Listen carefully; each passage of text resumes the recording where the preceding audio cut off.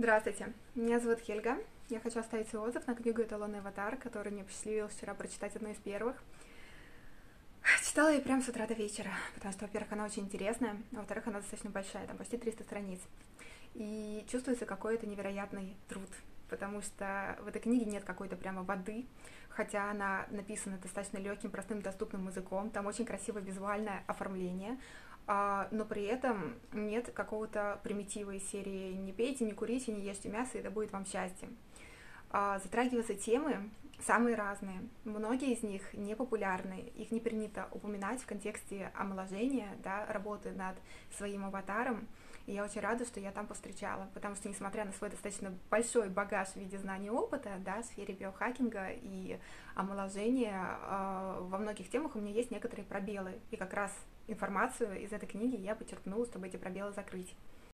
Книга очень масштабная, многомерная, как я уже сказала. Там затронуто достаточно много тем, и при этом она не оторвана от реальности. То есть те советы, которые там даются, они от вас не требуют каких-то огромных финансовых вложений, каких-то э, усилий, э, большого количества времени. То есть это все можно встроить в свою повседневную реальность, было бы желание.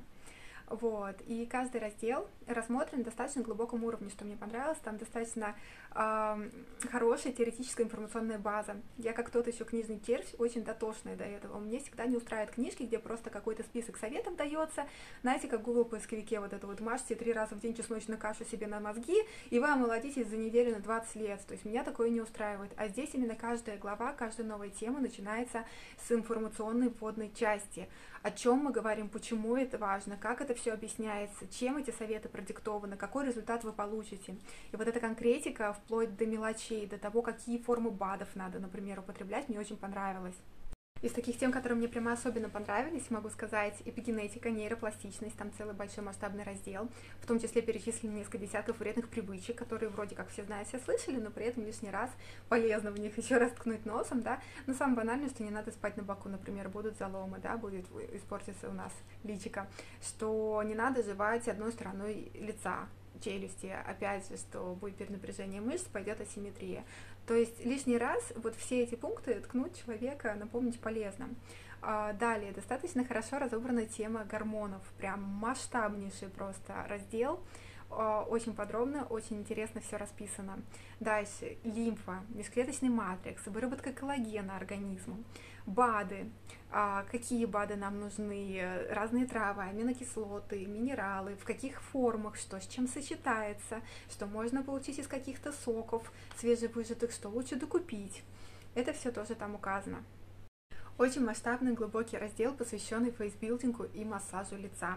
Что мне понравилось? Потому что я безумно люблю фейсбилдинг, я уже много лет им занимаюсь, и там нет просто какого-то списка из упражнений, которые надо делать, а достаточно глубоко вся система расписана, как все устроено и почему нам нужны именно такие упражнения и что конкретно мы тренируем, да. То есть такой комплексный подход, он меня очень впечатлил. Также, что я еще не сказала по поводу БАДов и питания, а, мне понравился раздел, где указано, что не должно быть в составах тех же добавок и вообще в нашей еде, потому что многие люди не уделяют этому внимания, они просто берут что-то, что подписано, что это полезно, и считают, что они делают себе хорошо, а по факту там в составе может быть вся таблица Менделеева, там будет и лимонная кислота, и B12, и тальк, и диоксид титана, и какие-нибудь вредные сахарозаменители, и куча другой гадости, которые есть ни в коем случае нельзя. Вот. И, конечно, более ожидаемые темы, такие как антипаразитарные чистки, как а, энергетические практики, как работа с волей, с сознанием, с самооценкой, а, понимание того, кто ты, зачем, куда живешь, да. В общем, осознанность, прокачка осознанного мышления, прокачка чистоты сознания — все это тоже там прорабатывается, и я целиком полностью придерживаюсь такого же подхода, потому что я считаю, что даже самая идеальная внешность без начинки, без самости, без прорабатывания всех внутренних аспектов немногого стоит, просто потому что вы будете лишены уникальности, значит, вас можно заменить, значит, не так уж это и ценно. Вот. И что мне еще очень нравится, все эти советы не нарушают автономность человека. То есть почти все вы можете делать, не выходя из дома, не жертвуя своим вниманием, своим временем. А вы по-прежнему принадлежите самому себе, и привычный график не будет нарушен. Таким образом, я могу утверждать, что эта книга будет максимально полезна каждому, кто хочет прокачать свой аватар. А, единственное, надо понимать, что это не просто какая-то занимательная книжица, которую прочитаешь и положишь на полку, да, такие книги становятся настольными. Они читаются с блокнотом и с ручкой в руках, и то, что там написано, нужно пробовать, нужно притворять жизнь, нужно делать своей полезной привычкой. И тогда она будет максимально эффективна. Я думаю, эффективна абсолютно каждому, кто настроен на молодость, красоту, осознанность, успех, бессмертие и все то, чего мы желаем.